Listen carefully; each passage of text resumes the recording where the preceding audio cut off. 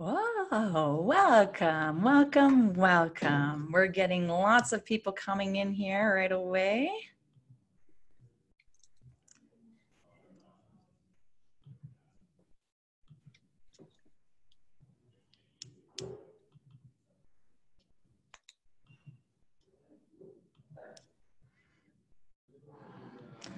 Let's just get ourselves started. Welcome to everybody today.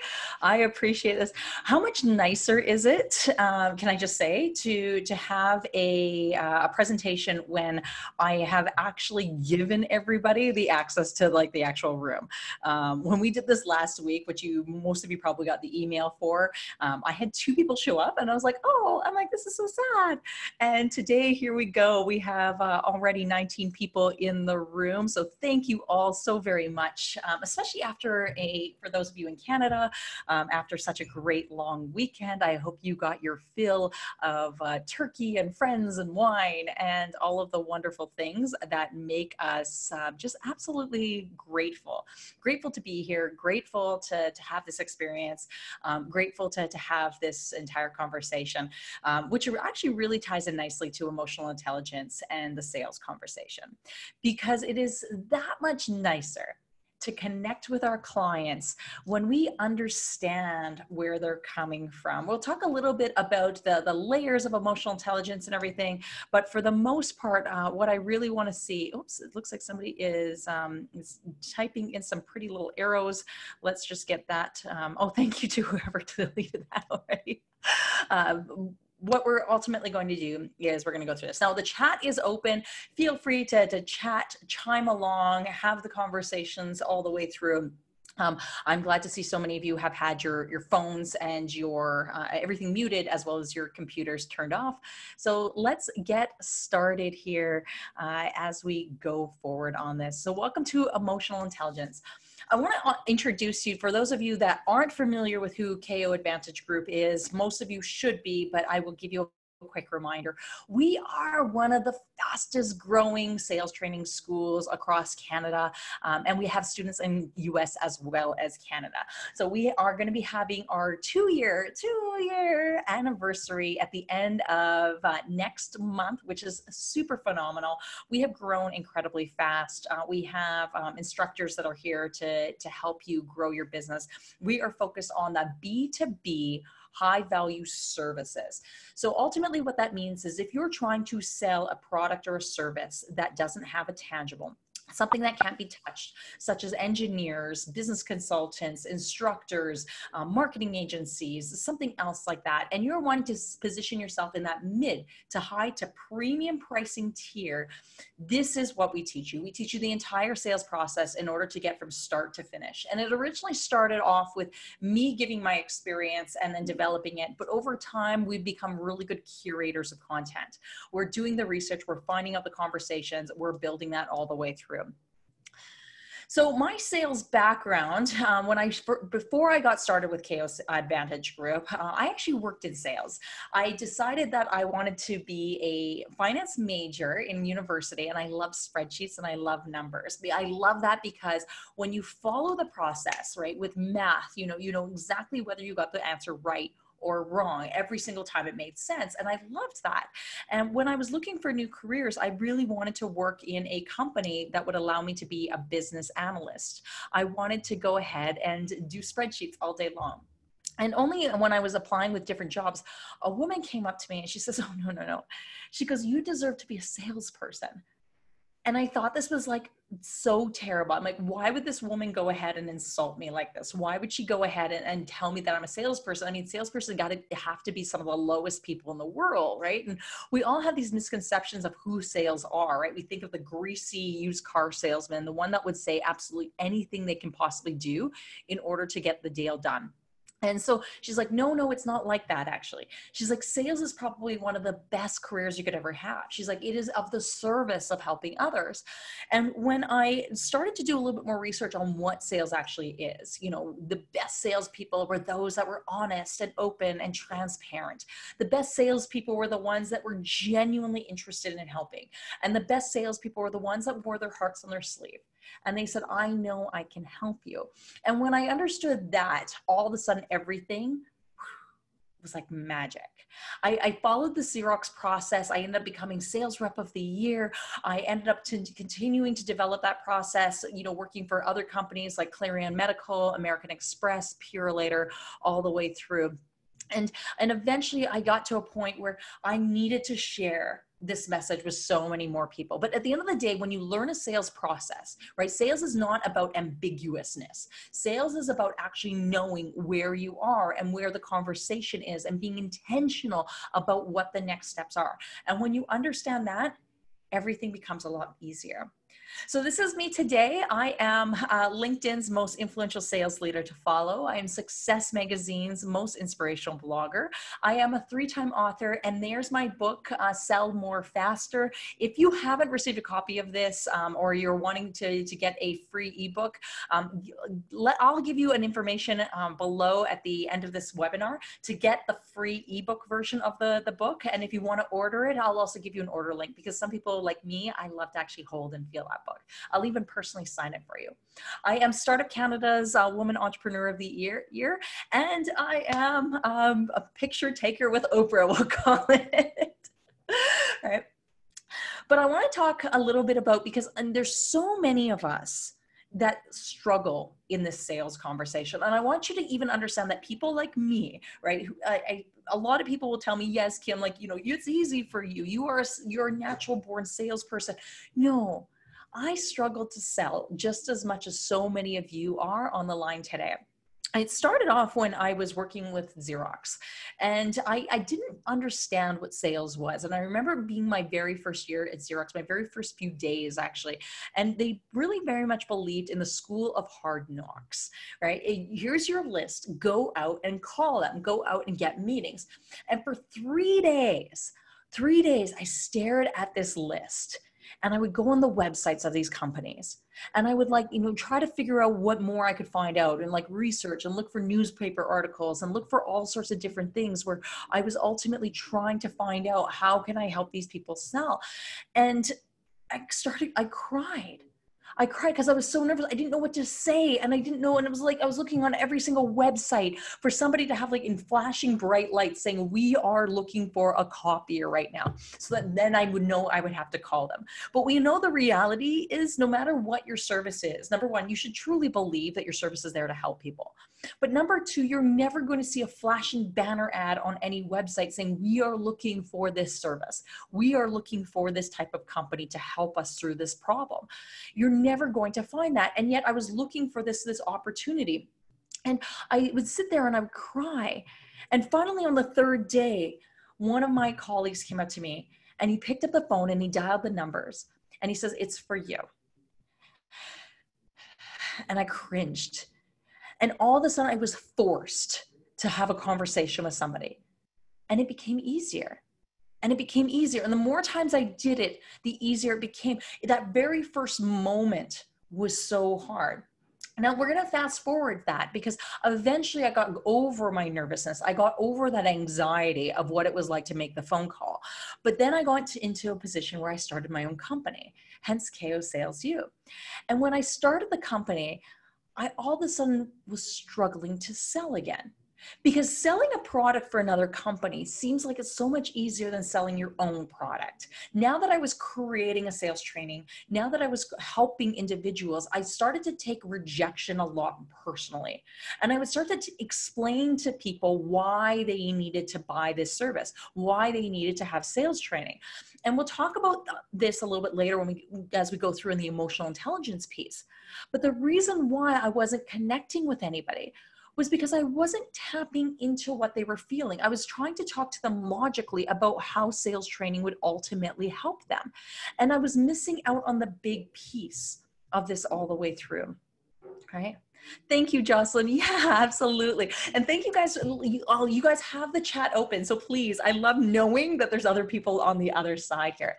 And so, you know, by, by understanding that I was missing out on this piece on why somebody even wanted to buy, why they needed the service besides just the logical reasons, I was disconnecting from the conversation. I was holding everyone at arm's reach and saying, This is what I have to present to you. Do you need it? Do you want it? Of course you do. And then they would sit there and be like, Well, I don't know. We'll think about it. And this became hard because as I would have one conversation that wouldn't lead to anything, I started to de- develop more of that self doubt. Am I really meant to this? Is, is this really a viable company? Is this something? And you could hear the self doubt, by desperate circle start to go down and down and down until finally I shook it. And I realized what I was ultimately missing all the way through. So, as we go through this, I want you to number one, understand that there is no such thing as a born salesperson. I was in Lethbridge last week and I was chatting with a woman and she goes, "Kim, it's easy for you, right? You're you're meant to do sales." She's like, "That is exactly who you are." And I love telling the story about how when I was pregnant, my husband and I were finding out the the sex of our baby. And at the 20 week ultrasound appointment, you know, the ultrasound technician would go ahead and scan my belly and she's waiting to find out, you know, is this going to be a little baby boy or a little baby girl? And my husband and I are all excited. And as we're holding hands to find out, you know, which one of us is right, right? Which one of us won the bet on whether it was a baby boy or a baby girl. At no point in time would we ever hope and expect this, the ultrasound technician to say, listen, you're not going to have a baby boy or a baby girl. You're going to have a salesperson and we, we, like i mean to think about this i mean we're not born as salespeople. Sales is something that we learn the same way that somebody is not born to be a musician. Somebody is not born to be a mathematician. Somebody is not born to be any of that. There might be certain qualities that might find themselves to be a little bit better on that but at the end of the day everyone could be a salesperson because it is a skill. It is a skill we learn. Now here's the other thing and we don't cover it today in today's class, but introverts are actually some of the best salespeople.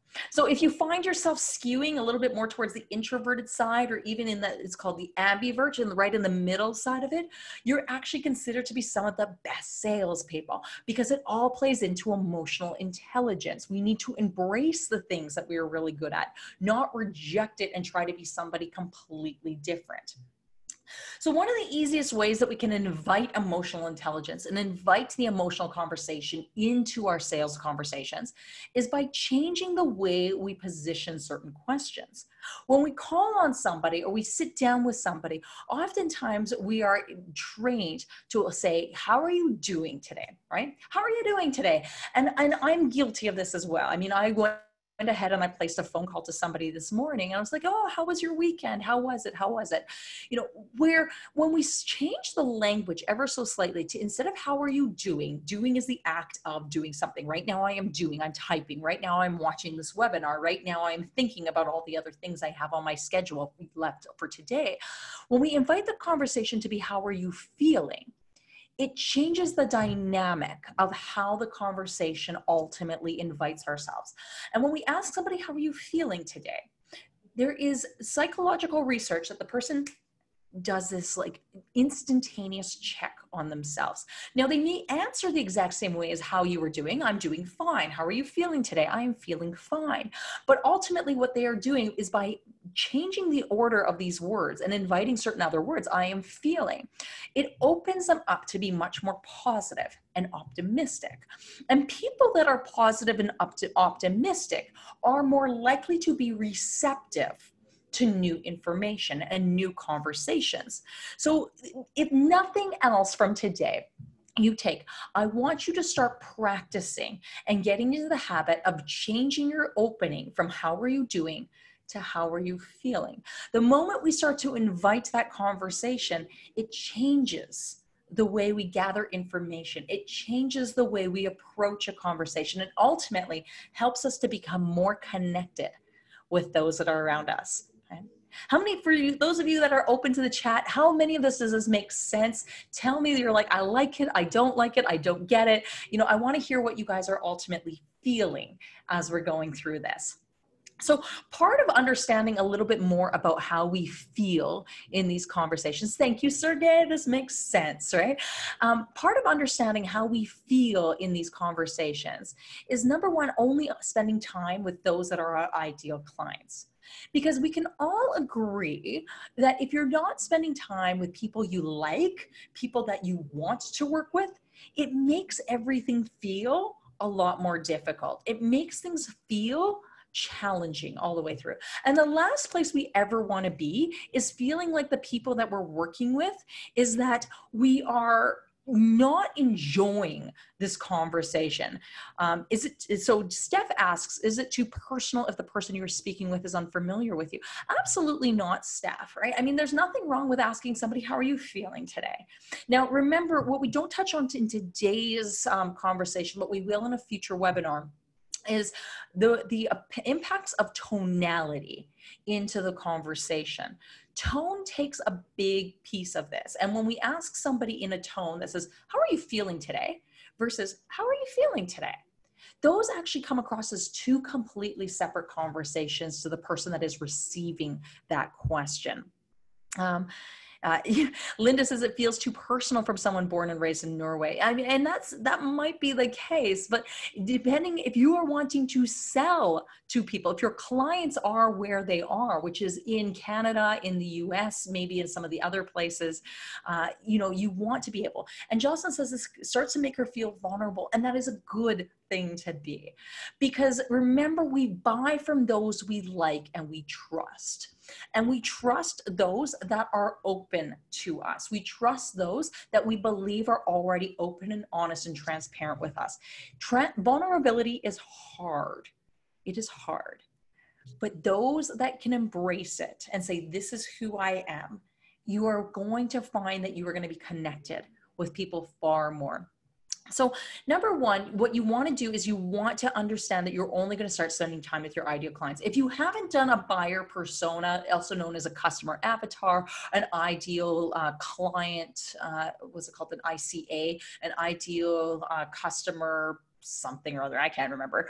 But at the end of the day, what this ultimately is, is can you articulate who your ideal client is. Can you tell me this is the person I'm looking for? This is the company I'm looking for. This is different than those that have created a ideal buyer, a target market, or an a customer avatar in the marketing sense. Because oftentimes in the marketing sense, we are very vague and we are still very broad. I am looking for women that are 35 to 40 years old who are single income household owners that ultimately want to find financial freedom through, you know, both a job as well as a individual income something or other right? Bah, bah, bah, right? And we, we have broadened this out. We have created a, a, an ocean net that we are ultimately wanting to cast. Whereas in the sales aspect we want to continue to drive that out down so that we can articulate who that person is. Can you tell me that this is a person that i would want to spend time with part of this is understanding what values do you share. Going back to the emotional intelligence piece we have to understand who we are first and foremost before we impact the changes of others. So what do you value in a conversation? What do, what are the things that you want to ensure that you're expressing all the way through? In my company and for myself open honesty and transparency are some of the biggest values that we have. I cannot work with you unless i know what i am facing right? And in return i expect the exact you should expect the same from me i will be open and honest and transparent with you i will tell you if something is not working or if it is and so those are things that i ultimately look now now here's the thing is if those are my values and those are the values that i want to share with somebody and I find that they aren't being open and honest and transparent. I find out that they aren't giving me all the information. How do I help them? You know, if, if I don't know what I'm facing, how can I help them get to that level? And so for me, that becomes a big deal breaker. Think of this as like romantic relationships. What are your deal breakers? Would you work with somebody who is going to be dishonest with you or deceitful or not give you all the information? Is that somebody that you would eventually marry? And if that isn't, then choose to hold yourself at a higher standard in your own sales conversations as well. The other thing is, is you have to understand what fears or goals do they have. Now, this really drives into that emotional intelligence piece because we're not just talking about who they are or what their challenges are, or, you know, what's what's the problem that they're facing, but what are they fearful of? Fear is an emotion and in most cases it's an irrational emotion but it is still one of the emotions that will make us take action or prevent us from taking action.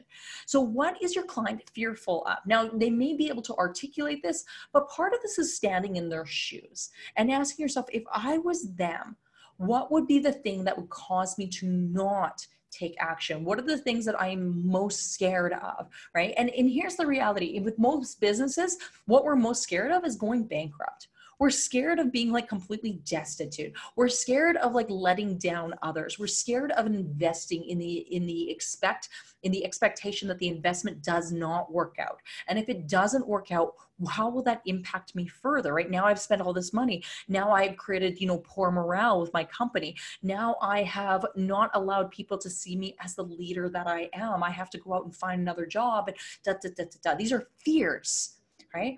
On the goal side of this, where do you want to ultimately get to, right? Now, the other side of it is if we are all one paycheck away from being bankrupt and destitute, we are also one paycheck away from having every single dream happen. We're one paycheck away from having one client, one client away from having, you know, our name and lights across the country, having interviews with all sorts of different people, right? Being recognized as a thought leader, you know, being able to become one of Canada's 50 top employees dot, dot, dot, dot, dot, dot. There's all these different goals that we have. And what would that allow me to be, right? Now I have, I have allowed myself to create a legacy, right? I have people that are following me. I have empowered even more people. I've created financial abundance for those that are surrounding me. And when we understand what the fears and what the goals are, what are the emotions tied to each one of those, we can then go ahead and fish where there are fish. Understand who your ideal buyer is, put yourself in those rooms, and then that ultimately becomes where you are. And it is okay to say no. It is okay to work with somebody who really wants to work with you, but they're not an ideal fit. Because remember, you need to feel excited about this interaction every single day that you work with them. You want to know that this person is going to stand on a mountaintop and sing your praises when your service is done all the way through. And thank you for those of you in the chat here all the way through. Um, Vinny asks, can emotional intelligence be learned and what can you do to build that skill? So yes, emotional intelligence can be learned. Yes, you can continuously build it. And in KO Sales U, we actually dedicate a whole module specifically to emotional intelligence and the role that storytelling takes in the, in the sales conversation. There's a few things that you can do. Um, number one, if you missed the last slide, it was how are you feeling? But number two, start with where you are right now. Before we start talking about how emotional intelligence can affect others, and ultimately that is where we want to get to, we have to be recognize, uh, we have to recognize the emotions that we go through in the own conversation. Ali asks, how about if price is the concern or fear in the customers we are dealing with? Now, let's be honest here. Price is never the concern. People will always justify a price, right? You know, one of the things, one of the quotes I'll say in lead qualification in um, when we're in KO Sales U in Module Five, is that budget will tell you what you can afford, but it won't stop you from buying it. Price is not the concern. Oftentimes, what the concern is is that uh, we are not understanding the value, and we're not seeing that if I'm going to spend this dollar how am I going to make back that dollar more than what I put on, right? Ultimately, nobody is going to spend a dollar if they think they're only going to get a dollar or a dollar five back. People will spend a dollar if they think they're going to get two or four or ten dollars back after a significant period of time. And if the fear is that I am going to invest this money and not get that money back, that is something completely separate that you need to address besides the price because price is just a number. And as long as, I mean, if I could tell you, listen, you guys, you're going to spend $10,000 with me, right? Many of you are going to, oh, I don't want to spend $10,000. But if I say, listen, you're going to spend $10,000 with me, and within 90 days, you are going to get $50,000 back, you know, and guaranteed, you know, many more of you are going to be like, okay, if she's going to guarantee me some type of result, I'm just going to get the money, right? I am going to do whatever I can in order to get that, right? I mean, you know, people are spending a lot of t- uh, money on lotto tickets, not because they honestly believe that they're going to lose the money, right? Rationally, we know that that's the case. But every single person that buys a lotto ticket irrationally believes that they're holding onto the winning ticket. They believe that this is the one that is going to win me something. And so it's not about the money, it is about what we believe this investment is going to do for us. We'll talk about that another day.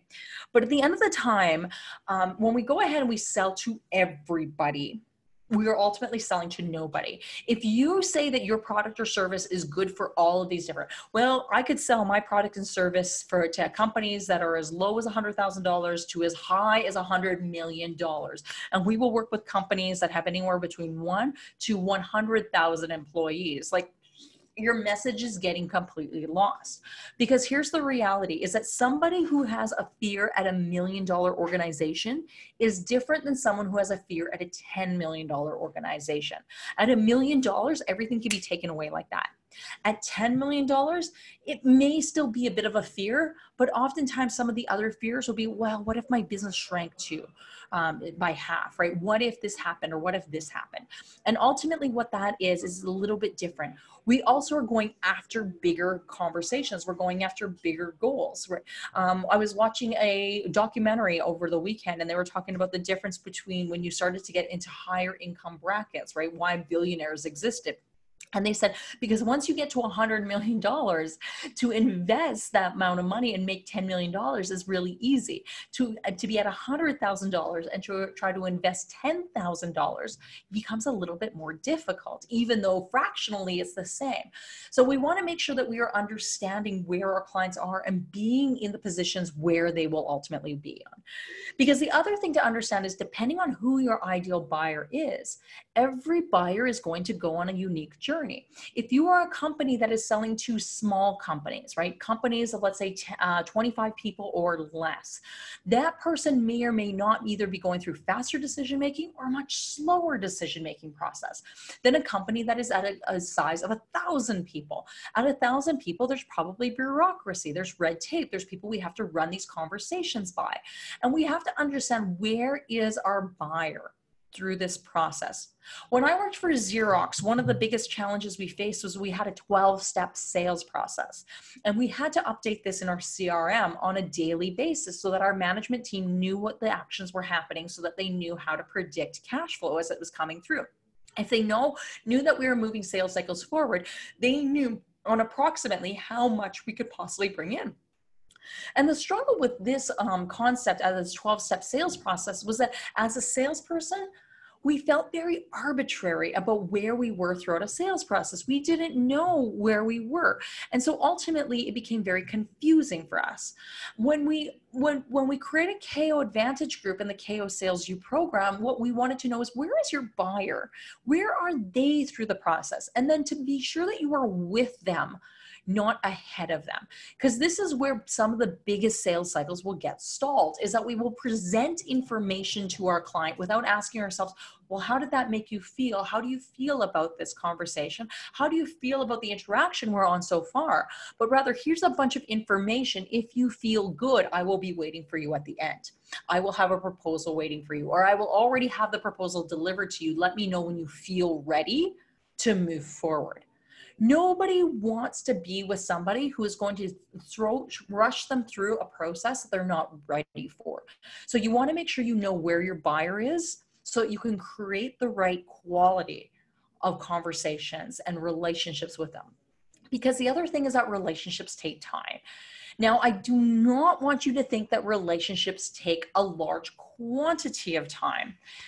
On the contrary, relationships take quality time. And we can think about this even when we think back to the people that have impacted our lives the most. We will find ourselves in positions where we may have known somebody for years. And can you even remember their name? Right? I'm one of the i'm like when i think about people that i went to high school with i'm probably maybe i'm one of the few but i'm like i can't remember like more than half of the people i went to high school with. There's people out there that like can remember everybody and i can't. I can't remember conversations i can't remember names i can't like i'm just like you know because i didn't really have a lot of quality relationships in high school.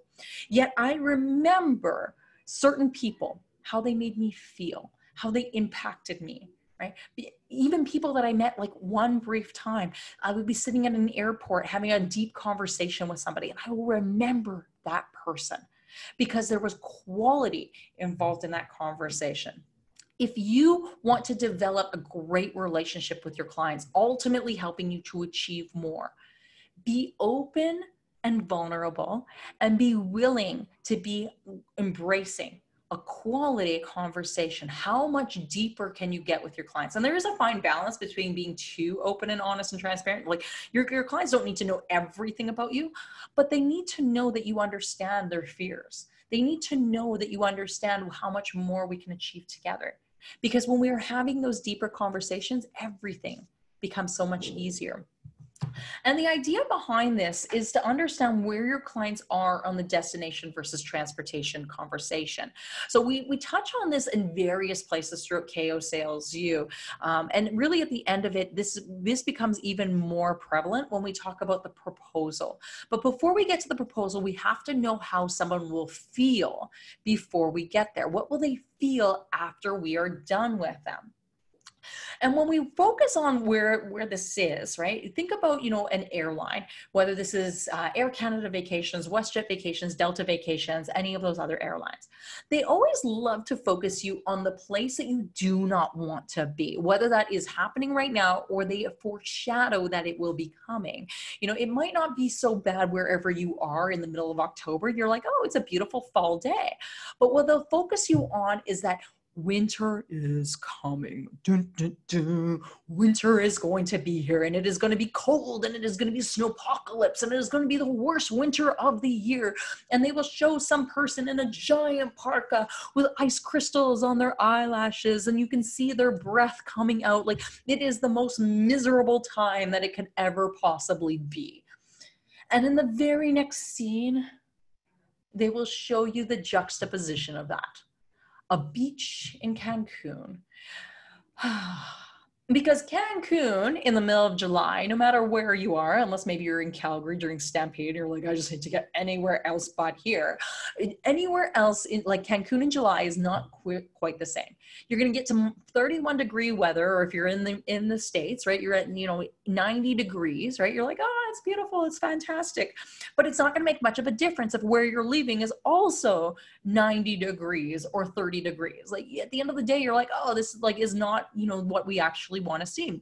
And so where we want to get to is you know at that beach. The beach is beautiful white sands, ocean breeze. You know, it's stunning. And for those of you that haven't heard the destination transportation, when you're talking to one of those airlines, what are they ultimately trying to sell you? And I want to see you guys put these in the chats, right? Um, for those of you that have, I'm going to give you a second to answer here in a second.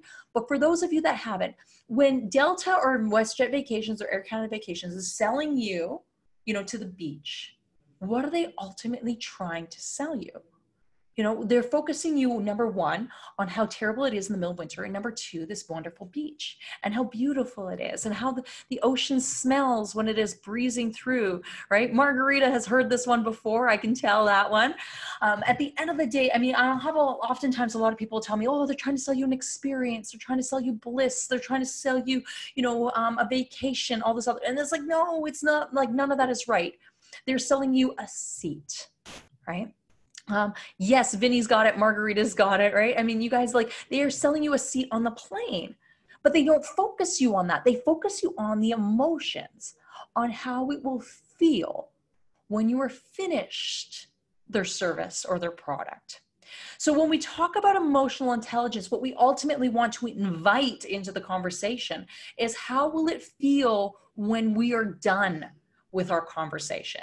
Because the vacation, the airline is only the part that is driving you there. but that is not ultimately what you want like you are buying that but it is not ultimately the reasons why you are buying that. You are buying it so that you can be at the beach. And how does it feel when you're there? How does it feel when you're in the middle of winter? How does it feel when you're on the beach they never focus on how does it feel when you're in the process of being on the plane because if they focused on that nobody would ever fly on a plane right? Airline travel for the most part sucks, right? You are like cattle called and like swished in this little tiny seat and you have to sit there for six hours, you know, and you're like, oh my goodness, like you have some person snoring to you, another person drooling beside you. Maybe those two people are like relatives and you're like, oh, this makes it even worse. you know, I mean, at the end of the day, we want to focus on the emotions of where somebody will be. So understand who your client ultimately is, right? Why do they even want to change? right? How will this impact them, right? What pain will they face if they stay where they are, if nothing changes, right? Which is ultimately and oftentimes what the biggest competitor is for us is not what this will look like when it changes, but if nothing changed what pain would that cause? You know if you don't take action today if you stay exactly where you are and in another three months or six months i ask you how has life changed all of a sudden it gets really painful it might not have been as painful before but then you realize well i haven't i haven't been like you know where i wanted to be by the end of 2019 was i wanted to have a company that was $250000 i wanted to be feeling like i was financially independent i wanted to know that I had a company. And and right now just none of that has happened, right? I feel like I am working and working and working, right? And I am hopeful that the future will look different, but nothing has changed. And you're like, "Okay, great. And if something, if nothing continues right now, how will you feel in January and February?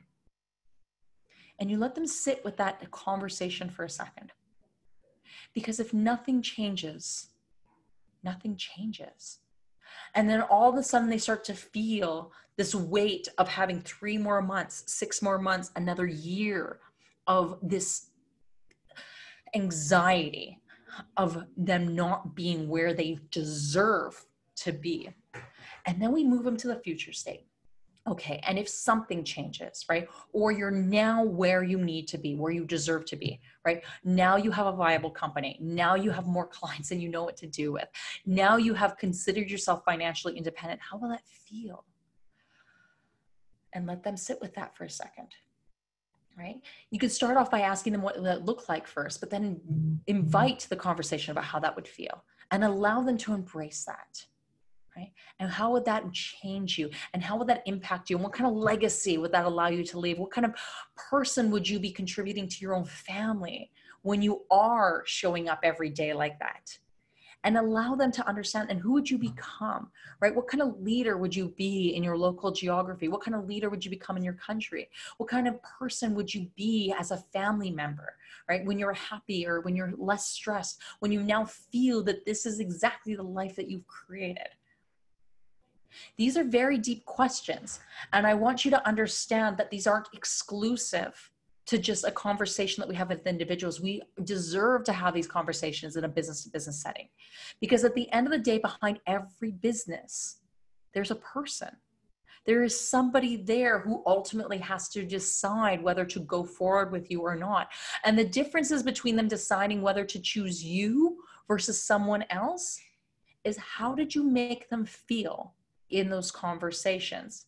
And Maya Angelou said this, one of her most famous quotes People will always forget what you said, they will always forget what you did, but they will never forget how you made them feel. And if you are in a situation where you're in competitive and you're trying to compare yourself on a spreadsheet, number one, every single one of my clients and students will lose on a spreadsheet. We will lose on a spreadsheet because all else being equal, everything looks about the same except we're positioned at this price instead of down here. And the reasons why a client chooses a price up here versus a price down here is because they feel more comforter, comfortable. They feel more secure. They feel that this investment is going to get them so much further on than if they choose the best logical based decision price. Price is logic, right? How we invest is emotional. So part of this is going to be to ask better questions. We want to invite better questions throughout the conversation. And these are open-ended questions versus closed-ended questions. Open-ended questions will start with who, what, where, when, how, or why.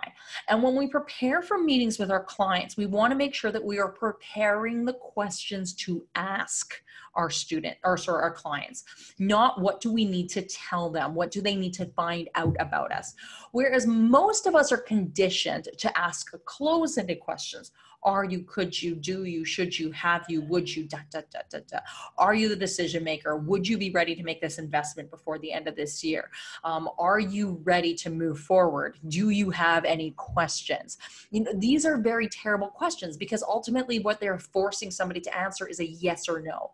Whereas open-ended questions are inviting statements. They're inviting more information. When we're asking yes or no questions, close-ended questions, we paint ourselves in a corner because we have nowhere to go. We just need them to answer yes, no, yes, no, yes, no, yes, no, and then we give them a bunch of information based on this quick response. Whereas when we ask open-ended questions, this becomes much more collaborative. This becomes conversational and it allows and invites the person to understand that we truly understand them. Stephen Covey says, seek first to understand, then to be understood. And we can better understand the people we are working with when we know who they are and what inspires them, what makes them tick, what makes them want to move to higher levels of success all the way through. Margarita says, during a one-on-one that Kim gave me this advice, I adapted the intro and the, the website hits have more than doubled. Oh, Margarita, that is fantastic to hear. Thank you so much. I am so excited to hear that. Yes, we want to invite this all the way through. The end of the day, any type of sales competition, and I, I kind of told you guys that introverts make the best salespeople, this is why, because we have two ears and one mouth. So we should always listen twice as often as when we speak. Introverts excel at this because we are better at taking in information. We are better at understanding those around us. So when we can spend our entire meetings with a client just understanding, asking them questions, getting information all the way through, we better arm ourselves to ultimately know how to help someone. Not think this is how it's going to help you, but know and get them to articulate back to us on how this will impact you. In last month's webinar, Nine Fatal Errors, we talked also about how this impacts the return on investment. Ali had a question about how does this impact the return on investment? Or how do we how do we get through the pricing conversation with price? Um, this is going to be part of that is understanding like not just like what does this price make you feel but when you achieve this level of success when you are at this beach how will that make you feel? And what is that worth to you? And how would that impact you? And what would it cost you if you don't make any changes? And getting them to talk about different financial conversations instead of just the price so we the whenever we make any type of decisions, we have to invite emotional intelligence. So emotional intelligence is a relatively new area of research. And the book Emotional Intelligence was literally written in 1994. So about 25 years ago, right? This is how new in the relative scheme of uh, psychology and social science, how new this area of research is. We know, what we ultimately want to know is like how connected are we to ourselves and to other people and their emotions. The perfect opposite of this is that for those of you that loved the show The Office, they had Michael Scott. And Michael Scott, the manager, was probably one of the lowest emotionally intelligent people that possibly was. He was socially awkward. And he would walk in and everyone's like mourning the death of like one of the people's cats, right? Oh, it's so sad. And he would walk in like ready to party. He's like, oh, look at all these people. Or should be ready to party. You're like, Michael, read the room, right? You're, you're not understanding what the emotional state is going into it and yet you're trying to sway it to a different level right? First of all you need to understand who you are what the emotions are right? How do you check into yourself first and foremost? And if you're not doing that take some time to check in and then when you understand what you would feel if I was in this situation, what would I feel to be there? Then we can start to impact the feelings of others. We can use that to become much more socially aware. And using that social awareness, we can ultimately get them to a point where we can actually motivate people to change their emotions um, in a positive way. I don't want you guys to ever think that this is in a manipulative, coercive way. This isn't, this is psychological research, and we do this for the betterment of others. But if, for those of you that score high on social and emotional intelligence, it can actually be better for you than if you were just to score high on IQ. And when they took two different test people, two different groups of people, CEOs actually, they tested them on IQ, technical skills, and EQ. And those that scored higher in EQ actually did better for their companies. They created more profitable companies, more revenue generating companies than those that were showing as just singly, right? So, what we want to make sure is that we are seeing that person's level of success based on their emotional intelligence. How are you going to tap into high IQ? because when they did it i mean number one I, to- I told you about this but eq executives with higher eq outperformed their targets by 15 to 20 percent.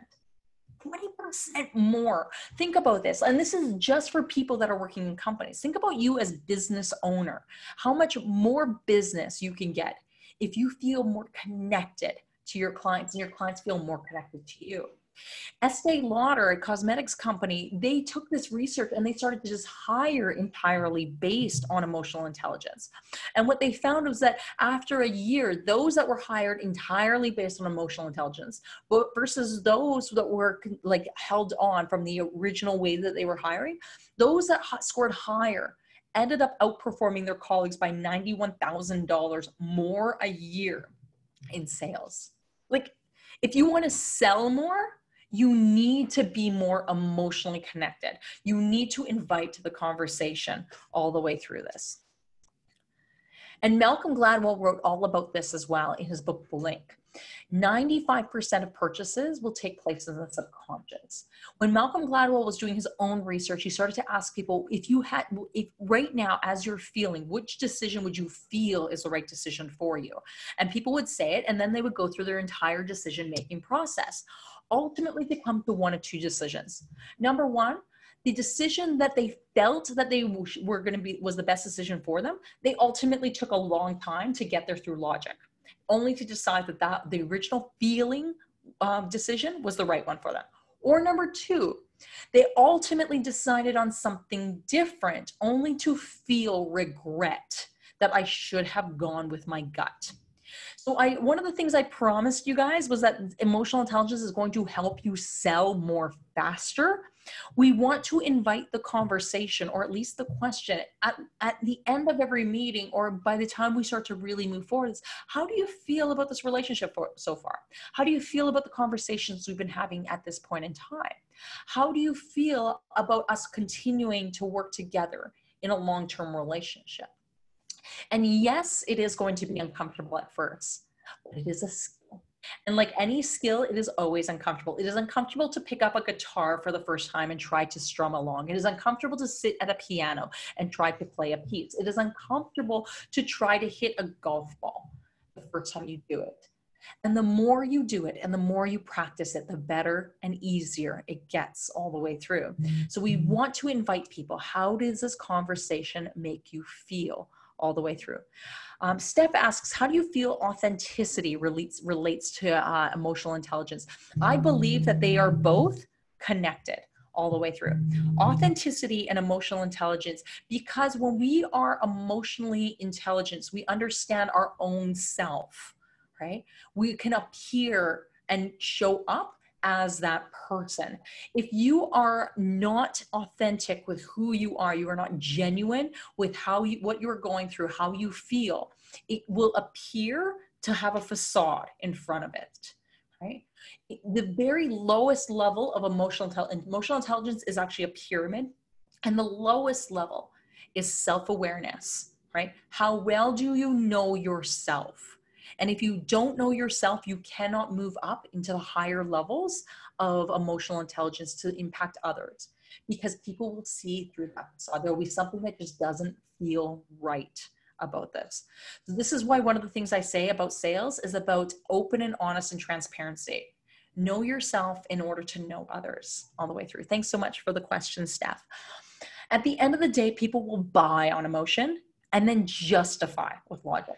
And if you're here based in Canada or even in the States right now, the, the biggest way to find this out is actually watching politics, right? And I'm not here to talk about politics, but I am here to watch the way people will make decisions because we will make our decisions, we will choose the party, we will choose the candidates based on how we feel about that person or how other people make us feel right? I don't want to go with them. They scare me. They don't they don't feel right. I want to go with them. They make me feel better. I feel comfortable. I feel optimistic with this party this candidate all the way through.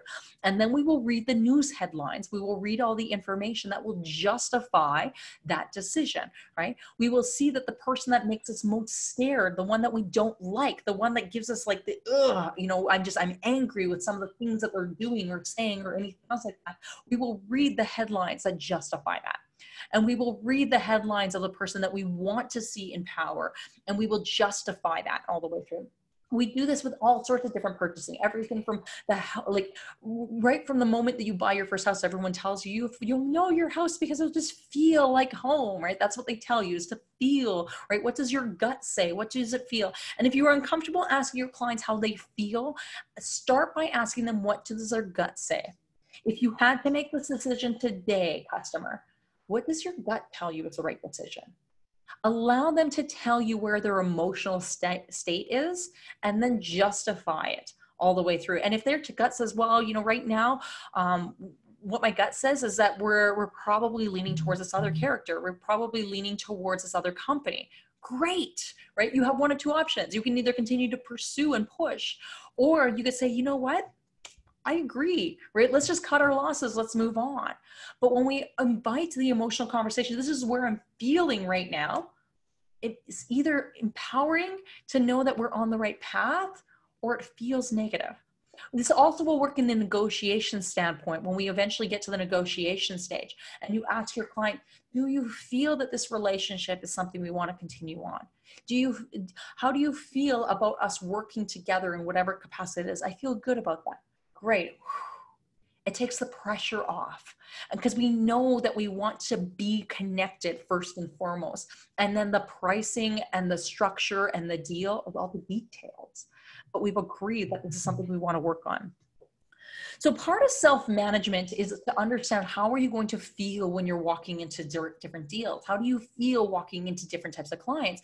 And if it's a $10,000 deal or a $100,000 deal or whatever your standard deal size is, times up by 10 what would be the feeling difference for you? And i want i want to see you guys put this in the chat here right? What emotions might you feel if it was a $10000 deal or a $100000 deal or whatever the size is in difference? If you were working on a deal that was 10 times more than what your average or what you expect your deal to be what are some of the emotions that you may go through and I will see all sorts of different people go through everything from excitement and like, you know, anticipation to fear and self-doubt. They will they will try to rush through it because they're like, wow, you know, they're they're not serious about it, right? They will they I will feel that the person doesn't actually want to go through this. And on the positive side, they'll say, oh, you know, I'm so excited and you know, and I can't wait and I can't wait. And we're trying to rush through it. But this isn't what this is about we need to remember to slow down. Remember, anytime we talk about emotions, right? Emotions will move us high and, and down, right? And entrepreneurs and business owners, we know this better than anyone else, right? Salespeople, high end salespeople know this, right? We live on the roller coaster. When the highs are high, they're really good. And when the lows are low, they're super good. The goal is to help bring us back to equanimity, right? To enjoy the moments, what we celebrate, but bring ourselves back to neutral status, to know that the lows will not be there for very long and bring us back to neutral status. And remember to put the buyer in the position of power and to allow them and ask them where they are so we can help to slow down, understand what am I going through? What am I feeling through this? Check in every moment that you have. And at the end of it, every interaction should be a joy. If you are not dealing with clients, you're not dealing with vendors, you are not in relationships in your business, in your life that do not leave you feeling more than every single time, right? We should always be leaving our clients feeling more than. We should leave ourselves feeling more. Every day we should leave and we should be like, that was a really good day right? That was a really good meeting. I enjoy talking to that person. I had such a great conversation. I felt joyful after that. You know you're on the right path. If you are having business conversations that do not leave you feeling excited, feeling optimistic, feeling compassion for what you are creating with this person, then you are in the wrong conversations. And it takes you back to one of the beginning slides. You are not dealing with your ideal clients all the way through. Can we all agree with this? Like, give me like a, a hell yes.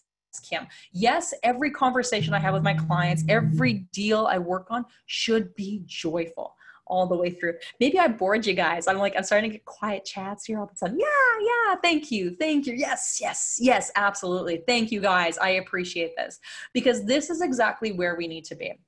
So, one of the questions we do ask in KO Sales U is Would your client be willing to pay for the experience you create with them? I mean, uh, uh here's the thing, you guys, is that I know that you had other options to do in this hour that you're spending with me. I know that there was other things that you could have been doing. You could have been making your own phone calls. You could have been answering your emails. You could have been doing all sorts of different things. And yet you chose to spend this time with me, right? And hopefully you would have been like saying like, this is so valuable, Kim, I would have paid you for it. But I want you to know that you already have. You already have because the time is the one resource that none of us have more of. And by telling me that I would much rather spend an hour learning from you than anything else I could have been doing, that the hour I am with you, Kim, is most valuable to me. That was the most valuable thing I could have been doing in that time. So, number one, I want you to tell, let you know that I feel honored and I feel grateful for this experience. So, thank you so much for that. But number two, I want to make sure that you are entering into every interaction, having your clients feel the same way as I feel about you gracing me with your time. When your clients get to spend time with you, I want them to feel better. I want them to feel uplifted. I want them to feel like the time that they've paid was well worth it, was more worth it than anything else that we can do. Oh, well, you're absolutely welcome, Natalie. So remember, though, that this is the first day of the rest of your life. Your prospect is going on this journey with you. And whether we're talking about meeting number one, or we're finally at the proposal meeting, or we're closing the deal, they want to continue this journey. Your client has only agreed to go to the proposal stage because they have enjoyed everything that they have done every step along the way. And when you get to the proposal stage and finally asking them for the business, show them that you care, right? This is the most critical moment for you. And yet I see so many business owners, so many salespeople that will just go ahead and s- dismiss it. I will send you some price. I will send you the email that's a terrible place to be.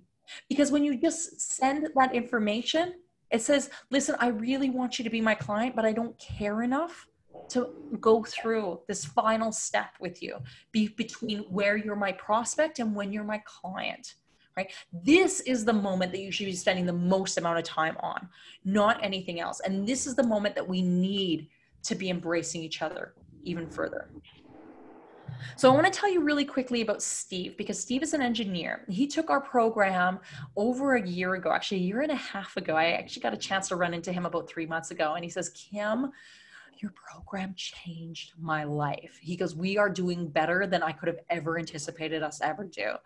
So, Steve specialized in doing engineering, civil engineering services specifically for Indigenous communities. That was the people that he wanted to work with the most. He felt most connected to them. He felt optimistic when he could create amazing things with them and for their communities. And one of the things that Steve told me was that he's like, I'm an engineer he's like engineers don't have feelings kim. Like let's be very clear right? We're, we're engineers. We only think about logical based things. Okay fair enough steve. But we invited him to try something new try this conversation. I said i want you to start by asking people how would you how would that make you feel? When you have described what the the project is ask them how that would make them feel. And then take it even a step further and ask them what kind of leader do they want to become. Really understand the goals and the aspirations of the people that you're working with the clients that are going to choose to work with you. And with those two simple questions he immediately started to impact his revenue. He actually quadrupled the size of some of the deals that he was in the process of working on. And he says, because of these questions, that ultimately moved these sales cycles even faster because when he when, when the clients he was talking to them told him what types of leaders they wanted to become, what kind of legacy they wanted to leave. It ultimately changed his entire life. So I want to ask you how, when you change these conversations, when you start to ask these deeper uh, conversations, how would this impact your sales?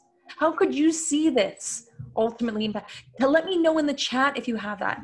But become better, better pro- prospect focused instead of problem focused.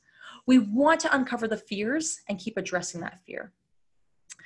So Anita took our program. She said that throughout it, she found that she was improving her life with every meeting and role play. We do make our students go through role play because we want you to practice it. We want you to impact the conversations that you're having all the way through. Cameron, also an engineer, when he started to invite the conversations about how does this feel? How do you feel about these conversations? How do you feel about what we've created? He came back to me and told me it was like magic like magic, he started to impact his deals so much greater than ever before.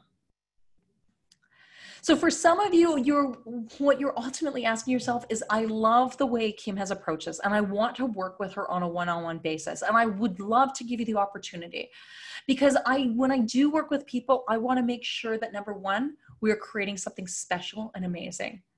You have to be in a position where you're scaling your company, you're hiring employees, and for three months, you and I will work together one on one. It is $12,000 to work with me, and we're going to get you there. But right now, you're likely thinking, I would love that. If only there was something that I could do today to get me before that point. If only there was a way I could invite the sales process to create that we have KO Sales U, which is my stamp of approval. And for those of you that are lucky enough to register for the October 31st class, I will be the instructor for that class size. You will have 10 weekly 90 minute online classrooms with uh, optional Q&A. We do limit the class sizes to eight people, eight people in order to have plenty of one-on-one time. You get lifetime access to all your videos, resources, and ongoing material and risk free, you guys, because we guarantee the results and we are the only program guaranteed results out there that as far as I know. And that means that when you do the work, if you don't see this change, you've done everything and you're not seeing the impact. Number one, everything that you got for, for that $12,000, you now get free of charge. I will work with you for that three months now on my own dime with my own time to ensure that you get there. And if for whatever reason you can't, we triple your money back. Doug McKay, who hesitated before he took the program, he's, he did the work and he built his business. And what he found was by the end of it, they were able to finalize a six figure deal, more than he could have ever anticipated. And because he had spent so much time with his client creating, they ended up coming back to him and saying, Doug, would you also do this additional piece and we'll pay you more for that? He says they countered him by paying more as a bonus. Imagine how much your life would change when you now have clients that were paying you more than you could have ever anticipated. Nabil, in the sixth week of the course, he said, I really feel like you underpriced the course for the value you gave us. He goes, had I known that this, this piece alone was going to transform my business, I would have done it sooner. All right, you guys, here's your last two opportunities. And i and if you are ready we will have uh, opportunities as well. But your next class will start on october 31st we have five spots left. So in two weeks two weeks time we'll get started. We don't launch a class because we launch the classes every end of the month we are not going to launch a class in november or december. They just don't make sense for us. So your next class won't be for a few more months until january. The question you have to ask yourself is when do I want to see this result happen? Not when do I want to start, but when do I want to see this? Do I want 2020 to be the best year it ever could be? Or am I ready to wait until the end of Q1 of 2020? And I'm glad you enjoyed this. Please let me know in the chats what you enjoyed, what you what you want to see for future webinars. We do these every single month. Our next one will be on November 4th. But I want to give you the very best information. I'm not here. Yes, I want to tell you a little bit about KO Sales U because I'm proud of it. But number two, I want to give you all this information because I believe that you can have everything you want in life when you help enough people get what they want.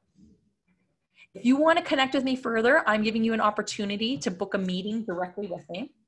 Go to kimorlesky.com slash meetings slash kim18 you can book a 20 minute sales strategy session with me and we will go through your business. We will find out more about everything. Um, awesome. I'm there. Yes, Sergey's in the class. So, yes, you will join Sergey as well as uh, we have, uh, I think, uh, Greg as well. Steph, thank you. Oh, Jocelyn, I appreciate. Yes, Jocelyn, thank you. Um, you're welcome, you guys. I'm so grateful that you could spend that time with me the last thing we do is we end every class with the same question we ask in KO Sales U is what will you do today that will have an impact on your business? You can somehow read behind me, it says application does not equal education. Go, go and do it. It is a short week for those of you in Canada. Go and impact your business. Have a significant impact. Go do something all the way through. Neil, oh, you're so nice. He did both. He did KO Sales U as well as work with you, and it was the best investment. Thank you, Neil. I very much appreciate it. You guys, that is it. Thank you so much. I'm going to hang on for uh, one more minute in case anyone has any questions or comments. I hope to see you all on November 4th. Goodbye.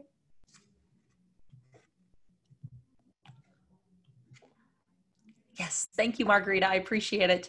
Thank you, thank you. Yes. If anyone has any quick questions, I will be, um, I'm going to keep the chat open here for a second. Um, yes, Tamara, do I have your ebook? Yes. Um, if you go to, I think the, the quickest one is uh, uh, Kim Orlesky, whoops, dot com slash, I think this, um, this one is still open. Um, that will actually give you a uh, somewhere in there, right? It's the only one I can think of right now. Um, that one will actually have an access to download the ebook for free. So, so just check around there. If you can't see it, um, just send me an email. Um, and my email address is kim at kimorlesky.com and we'll get you the, um, the link. You're welcome. Yeah, Kelly, thank you, thank you, thank you, thank you. Okay, goodbye, everybody. Goodbye.